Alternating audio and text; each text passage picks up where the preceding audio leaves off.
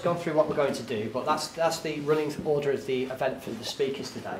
And then towards the end, it is opening up into a discussion to try and drive this forward in as much a communicative way as what we can.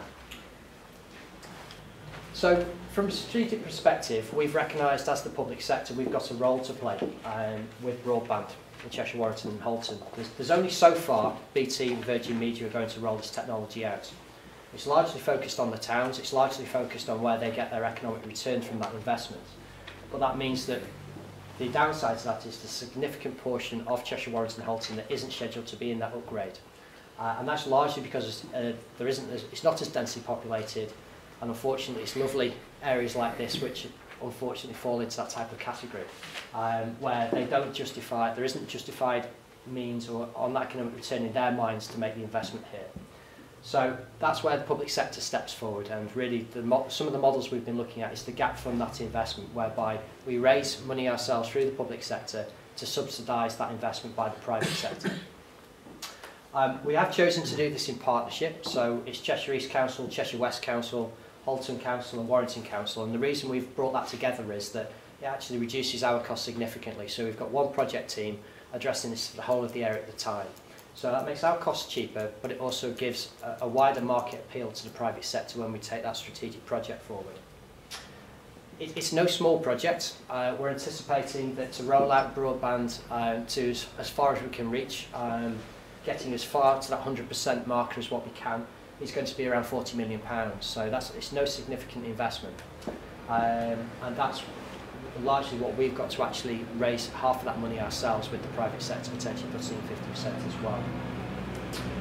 Some key targets that we've got to do. So we've got to raise uh, that 20 million pounds. So we don't have that money in our in our reserves or in our budgets directly from the public sector. So we've got to look at grant funding opportunities to raise that some of that value. We've then got to go out to market, so we've got to go and talk with the, the telecommunications sector to say, we want a new solution, um, we want you to invest in it, and we would like you to, to roll it out for us. Uh, so we have to do that in a competitive in manner, so it's, it's, a, it's a procurement exercise. Then the rollout program will start, and we'll start to get the infrastructure in. Um, well, that's really the start of the journey. Once the infrastructure starts to become available, that's when we start to explore how we can use that technology and actually understanding what the real advantages are to you and your homes and your businesses. We've also got to seek, state aid approval for the investment. So the EU says that any public money that's been invested needs to be sanctioned by them for um, and signed off that we can make that investment with public money. And the reason for that is that public money could be classified as distorting the market competition. So that needs to be signed off as well. So there's There's quite a lot of work to do there, but we're all committed to do that, and this is where the strategic angle plugs into the local aspects as well. So the government set a, commitment target of 90% commitment. So they want to see 90% of, um, of the country connected with super fast broadband services by 2015, which is an aggressive schedule, uh, but something which is actually achievable for us in Cheshire and Warrington if we keep the pace moving. We've, we've stretched that target and we want to actually say we want to reach 100% of Cheshire and Warrington. But to do that, we need to look at innovative ways and different funding sources to achieve that. So it's about addressing the failure of broadband in areas such as this, which are classified as areas of market failure, to actually put that infrastructure in. And then looking at how we can take the, um, the infrastructure forward to actually grow the economy and, and actually help us in our everyday lives. We've got a, a very simple business model which has largely stood the test of time for us since we developed this over 18 months ago. Uh, the left-hand side of that is there's a self-explanatory business case for why um, the investment is so important. And then we've got these three parallel tracks to identify the funding, uh, to, to, to go through a procurement exercise, and then to get that state aid approval. At the end of that, we actually start a rollout of that infrastructure. So simple terms, that's, it's a lot of hard work, but it's actually a, a, a manageable process of information. But that's where the real journey starts for me, really. Um, without actually using this technology when we get it, it's just been a worthless investment. So we, we've committed as local authorities to look at how we can engage with the communities and with businesses to look at the exploitation of that technology. And we've got those six vertical pillars. Uh, sorry that you've got to turn your head on the side. Um, But we've got economic, economic development. Um, we've done a, a value and impact study uh, looking at the investment for superfast broadband in Cheshire and Warrington and Halton. And that suggests that this could actually drive over a billion pounds worth of, of growth in the economy in the next 15 years and create 11,000 jobs just in digital services. We've got the as aspects of customer access. So um, we're in the time of austerity. Austerity is the new norm. Uh, we need to start looking at how we can reduce our cost as public sector, and that means moving more services online, what we call channel shift, and that means more flexibility to access council services and public services when you need them. We've got an environmental angle, so that if people are, are working in their homes or operating a more flexible approach to how they work or starting up their business in the local environment, because they've got access to technologies, that might mean that they're commuting less and there's less CO2 productions. If people are staying in their home, if people are running local businesses, that's got to drive something about local communities and, and that sustainability of those, which is so important with the devolution of services, etc. Education, learning and skills. There's so much I hear now about people, um, school children needing to be online to do their homework, to, to send in emails, to submit reports. Uh, I saw a, a BBC report at the weekend that was talking about, uh, I think it was Yale University, offering a, a degree to the masses effectively just by delivering it through online content. So universities and education systems are, are being moving away from being place specific to being knowledge specific. So you should be able to be at home and take education from wherever you live in the world. And then health and well-being. Um, we all know that the NHS is in a bit of a dire state at the minute. It's, it's not going to get any better. So there needs to be aspirations of how the NHS changes. There needs to be more of a focus on social care, more of a focus on using assistive technologies to keep people in their homes for longer to reduce some of those costs. So all of that integrates right across the public authority business model. Um, so this is a piece of technology, but it's how we use that technology better, which is so important to me. I mentioned briefly about the funding model. Um, we've got some money from BDUK. There's 3.24 million available to Cheshire, Warrington and Halton, which is sounds quite a lot of money, but it doesn't go very far. We're looking to top up that money with a bid to the European Regional Development Fund, um, which is about justifying a, a, a network for SME small businesses. And we're looking to put in a bid between 13 and 16 million for that. Um, and then coupled with those two funding sources, we take supplier investment. So this is the investment BT or another may put into the network when we actually come to roll this out. So you, you weight that side of the model with all the money, but what's so important on the other side of that model is actually the revenue to take those services up. So what they need to be sure of, or when they're making the investments in this area, is that people are available and want to take up these services and understand how they're going to use them. So that's, that's as important as actually getting the message and getting the money right. So just a bit of an update where we're up to at the moment is that we've, we've submitted our round one bid of our ERDF, so that, that large 16 million bid for a business network. Um, we were planning to submit the, the second more detailed bid for September. Uh, last week that got brought forward to June. They wanted to have submissions in much sooner than that. Uh, we secured 430,000 from an RDPE funding source uh, already, so we've got a little bit of money to one side there to help with uh, community projects. Um, we're working with local community on these regional community broadband funds, so this is uh, really what today is about. And we've been given, uh, we've passed our first checkpoint with BDUK, so they put an assurance process around helping projects through. And we're in one of the first waves of moving the projects through in the country.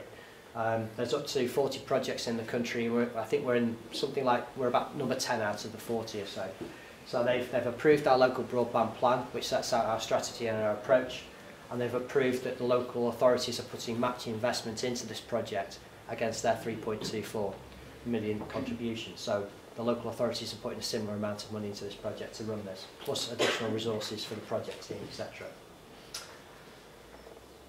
So we're looking to take the, um, the next stage on with BDUK. Um, we're about to launch a public consultation. I believe it's gone live today. So that's asking businesses and communities about how they perceive our plans of, of investment. And we're hoping to go out to market with our procurement to select an infrastructure partner at the beginning of July. So really the pace is starting to really ramp up how we move this forward. And with that procurement, we get a route to market to deliver some of this matching investment, and we'll also get the link in with our state aid approval, so about the investment of public funds. And we're building a data room as well. So that what that data room means is it's a, a it's a closed, restricted set of information that we're providing the suppliers with on um, certain investment um, criteria, certain amounts of data that will help the private sector make a decision whether they want to invest in this area. The, the thing that you might not be aware of is that BD UK have been developing a procurement framework and what that is, it's a, uh, a faster route to market for us to take a procurement. If we had to do this on our own, you have to, you have to follow a, a procedure probably called competitive dialogue that could take 9 to 12 months to do. Um, the framework is an accelerated process that we could move that through in about, in about three months. Um, and they've been shortlisting suppliers on that framework. Um, that hasn't been formally announced yet, but there's only two to three suppliers on that framework, and some of the big names that you might recognise uh, who could be on there are Fujitsu and BT. So when we go out to market, we're, we're actually talking to a limited number of suppliers when we want to put our project forward. So the tables have turned perhaps where they were 12 months ago, where we were putting forward investment and hoping we'd have the pick in the market. We've now got to actually take our case and make our case as attractive to the private sector as possible because they're picking and choosing where they want to make an investment. So the ideal case for us would be to have competition from more than one provider, more than just BT, which is largely the case of what's happened in a number of other projects around the country, to drive down the best value uh, scenario for it.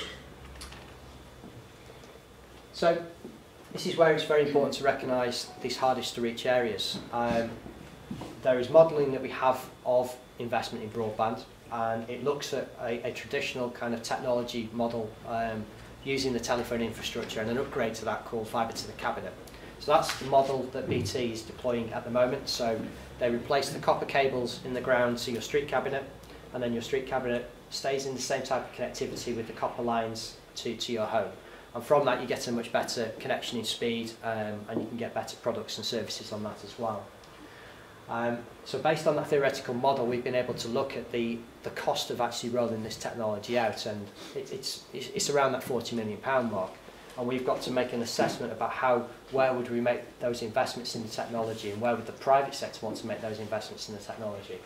And there's some areas where it's very cost prohibitive. So they're the very hardest to reach areas where we need to look, look and be very innovative about how we actually use the technology and what approach we take to it and to work with the local community to drive forward the case and to say, look, there's a body of people here who want better broadband services and are willing to pitch in to actually support this. Now, unfortunately, the area of South Cheshire, as, as, as a whole, this area that, you know, where we've come to today, has some of the very most cost prohibitive connectivity charges to put this infrastructure in.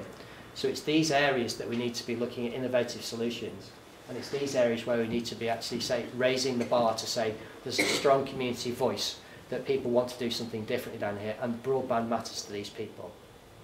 So we've got a, a large task to do there to tackle it right from the strategic aspect of rolling the very commercial project that a supplier might like to do right through to the very hardest to reach areas where people are already disadvantaged at this stage. So we need to really raise that bar to say that it's those people that are suffering with the disadvantage at the moment and those people that are actually we need to get the message, get this technology to that is really the most important area. Um, and that's the, that's the kind of the joining up that we need to do. So we've got this very strategic aspect down to a, a local community driven uh, aspiration. And we're, we're really committed in this project to do that. Um, we've got a local community engagement officer which is going to be working on the project throughout its entirety to actually work with the local communities to drive this message home.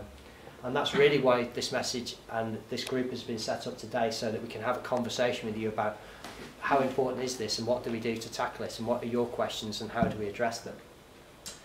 So that's largely everything from me from a strategic perspective. Um, I'll, I'll be taking a chair at the side and joining in with the, the participation for the rest of the session. And I'll just hand you over to Lauren Kelly, who can talk you through a bit of what we've been doing about our community engagement, uh, community champions.